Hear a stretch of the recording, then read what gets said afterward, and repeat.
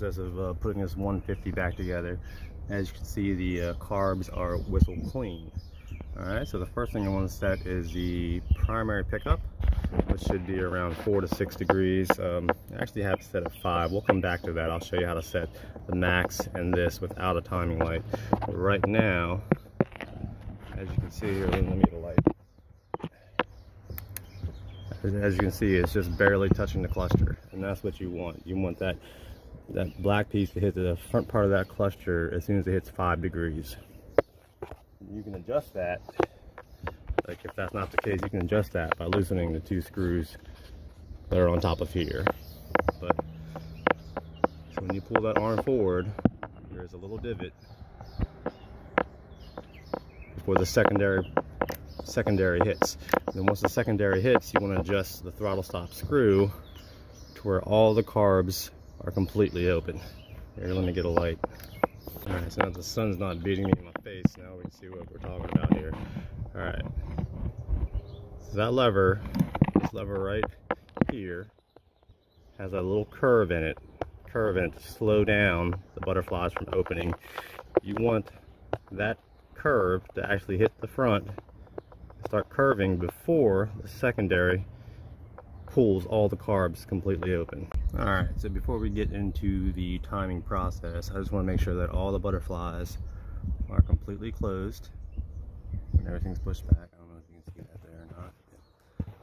They're completely closed. There should be no gaps or it's gonna affect your idle. Yep, closed, closed, closed. Okay, so now I have a bungee cord just holding everything open. I like to make sure that every single butterfly is completely open bottom was kind of tough to see. As you can see, all the butterflies are completely open. So now let's get into timing. All right, so after you find a top dead center, we're gonna be setting the, the primary, which is right here.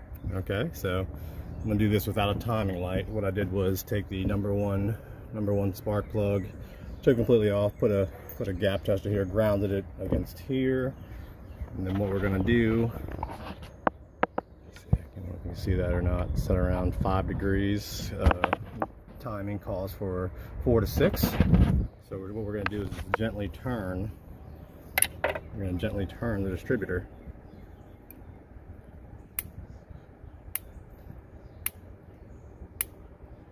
So right there, it's already set.